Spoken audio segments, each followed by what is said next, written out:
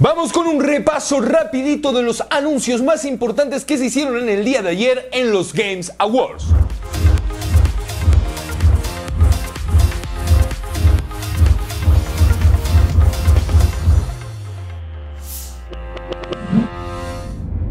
Bienvenidos amigos y amigas a un nuevo video aquí en Big Data News. Si no lo sabías o vives debajo de una piedra como Patricio, en el día de ayer se dieron los Games Awards, la premiación de videojuegos más importante del mundo. Y durante la premiación, que se, obviamente se dieron los premios, ajá, ajá, ajá Menos mal, porque si no, se dieron anuncios de videojuegos muy importantes. Así que hoy voy a repasar lo que para mí son los 5 anuncios más interesantes que se dieron el día de ayer. Antes de continuar con el video, si es la primera vez que pases por este canal, te sugiero que te suscribas ahora mismo y que actives la campanita de notificaciones para que no te pierdas ni un solo video de Big Data News. Dicho esto, sin más preámbulos, vamos a comenzar.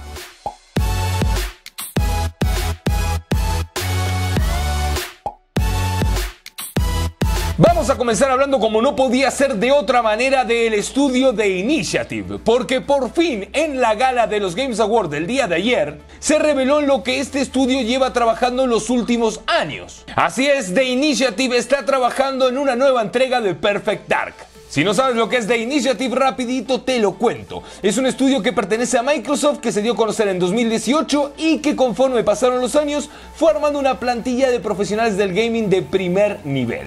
La cuestión es que nadie sabía a ciencia cierta en qué estaba trabajando este estudio hasta el día de ayer, cuando se vio este tráiler que estamos viendo ahora mismo en pantalla, donde nos confirmaron que The Initiative está trabajando en un nuevo Perfect Dark. Este fue el anuncio más importante de toda la gala. Porque The Initiative es un estudio que viene dando que hablar ya hace tiempo. Microsoft fundó The Initiative en Santa Mónica. Lo fundó por ahí en el 2017. En el 2018 se dio a conocer el estudio y desde el 2018 hasta ahora empezó a reclutar gente de Naughty Dog, de Activision, de Square Enix, gente muy pero muy importante, inclusive gente que ha trabajado en God of War. Bueno, la cuestión es que nadie sabía eh, qué estaban haciendo específicamente. Había rumores, se coqueteaba con la idea de Perfect Dark. Y ayer se confirmó que efectivamente es un nuevo Perfect Dark. Y no solo eso, es un reboot de la historia de eh, Joanna Dark. Joanna, Dark. Joanna Dark. Eh, por un momento lo dudé. El juego, como bien les decía, será un reboot de la saga Perfect Dark y estará ambientado en un futuro donde un cataclismo ecológico obligó a las personas a confiar ciegamente en una corporación que les ofrece la posibilidad de vivir mejor. Según los desarrolladores del juego, si bien será un first person shooter, el juego buscará ir más allá y expandir el género a nuevos horizontes es muy posible que no conozcas o no sepas respecto a Perfect Dark porque es un juego que lleva inactivo ya muchos años. Si ese es el caso, yo te lo cuento rapidísimo. Perfect Dark es un juego que salió para Nintendo 64, desarrollado por Rare, que tuvo un muy buen recibimiento y que luego en Xbox 360 tuvo una secuela, pero que no fue de gran éxito. En este juego encarnamos a la gente Joanna Dark, de ahí el nombre Perfect Dark. Ah. Si bien no vimos gran, gran cosa porque simplemente vemos un tráiler cinematográfico CGI, bueno, la verdad es que pinta bien, está bonito saber que están reviviendo esta saga. Yo sé que hay muchos que sí han jugado Nintendo 64 y que recuerdan Perfect Dark con mucho cariño. Lo bueno es que están arrancando una franquicia que ya está escrita, digamos, por decirlo de alguna manera, y que arrancan con buena base. Lo que vimos se ve espectacular, sin lugar a dudas, y con la plantilla que tiene este estudio, y con el presupuesto de Microsoft, bueno, esperamos que sea un juegazo, quizás sea el primer gran mega exclusivo de esta generación.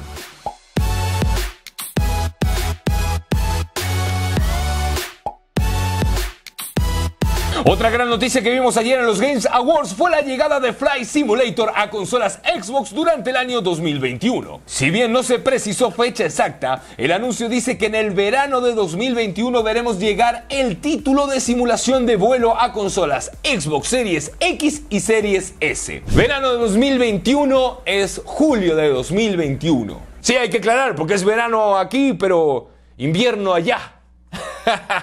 Invierno en el sur, invierno en Japón, invierno en Uruguay, invierno en Brasil. No sé por qué insisten en creer que son el centro del mundo y ponen verano 2021. Pero bueno, eso ya es otro tema. Julio 2021, Series X, Series S, Fly Simulator. Junio, julio, mayo, agosto, por ahí.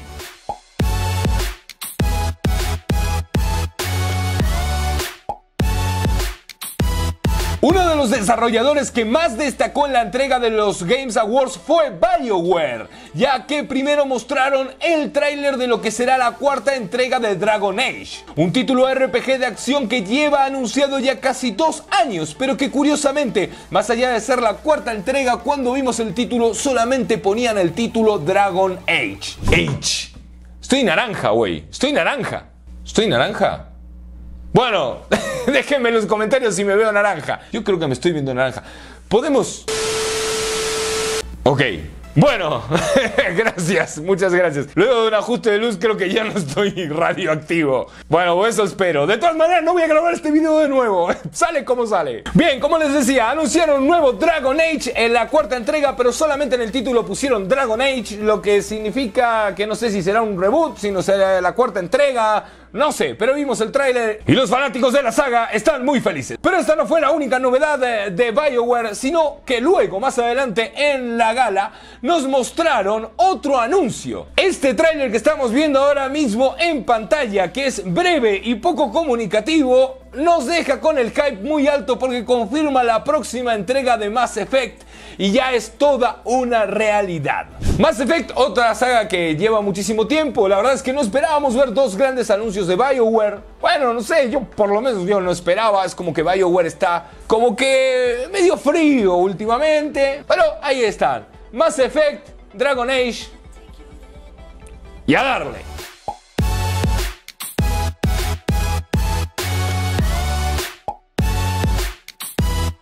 Otro anuncio relacionado con el universo Xbox fue la llegada oficial del Master Chief a Fortnite, anunciada con varios trailers muy graciosos como es costumbre en este juego. Recordamos que hace días nomás llegó Kratos y ahora Master Chief y va a ser muy divertido poder ver a estos dos iconos de los videojuegos enfrentarse en Fortnite. El jefe maestro pechudo y guerrero de la Xbox, la reencarnación videojueguil de Phil Spencer. Estoy exagerando, güey. Estoy exagerando para que se pongan felices los, los fans de Xbox.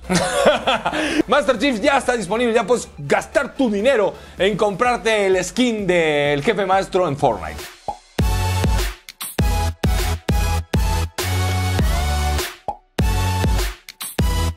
Y por último, el quinto anuncio que se destaca de la entrega Games Awards del día de ayer es para Among Us, ya que además de llevarse dos premios en la gala a Mejor Multijugador y Mejor Juego para Móviles, presentó el tráiler de lo que será el nuevo mapa del juego. Este nuevo mapa se llama Airship y nos llevará a jugar en una especie de avión o, o nave voladora gigante. Ah, pero qué precisión en tus comentarios, Poro. Nave voladora gigante que sobrevuela. Es que eso es lo que es, güey. Este nuevo mapa contará con nuevas tareas, escaleras para moverse entre niveles, plataformas para desplazarse e inclusive la posibilidad de elegir en qué sala queremos comenzar nuestra partida. El mapa estará disponible para ser jugado en Among Us a partir de principios de 2021. Estos son los que para mí fueron los 5 anuncios más importantes e interesantes de los Games Awards 2020. Quizás para ustedes hubo otros anuncios importantes, a mí me parecen que estos fueron los interesantes. Más allá de los ganadores, más allá de la premiación, más allá de, quién ganó el GOT y si es merecido, si no es merecido. Que la verdad no me interesa meterme en esos temas, porque ya está. Por más que hablemos, no vamos a cambiar nada, por más que quisiéramos. La cuestión es que estos anuncios emocionan bastante, por lo menos a la gran parte del público. No quiero dejar pasar decir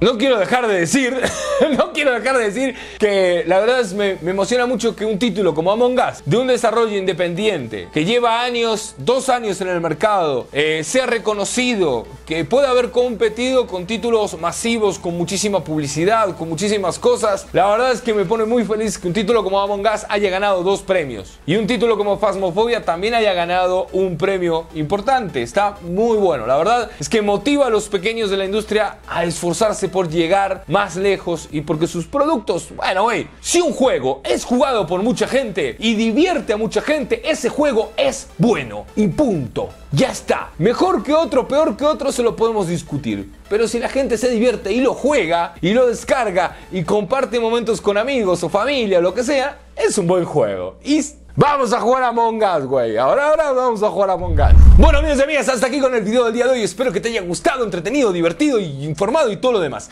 Si te perdiste los Games Awards, si quieres verlo completito, en mi canal está el video. Pero si lo quieres ver de manera oficial o lo quieres ver en la página o lo quieres ver en el sitio de YouTube donde se emitieron, te lo voy a dejar aquí abajo en la descripción. No te vayas de este video sin dejar like, sin suscribirte y activar la campanita de notificaciones para que no te pierdas ninguno de estos videos. En la descripción Twitch, Discord, Instagram y mi canal secundario y aquí al costado otros videos de tecnología y gaming que te van a gustar y te van a interesar muchísimo. Amigos y amigas, yo soy Poro, esto es Big Data News. Yo soy Poro. Yo soy Poro. Y nos vemos la próxima. ¿Me pones una cumbia ahí, güey? Cuando hago así. ¿Eh? Pero una sin copyright, güey. Ya tengo suficiente con la transmisión de ayer que... puro copyright.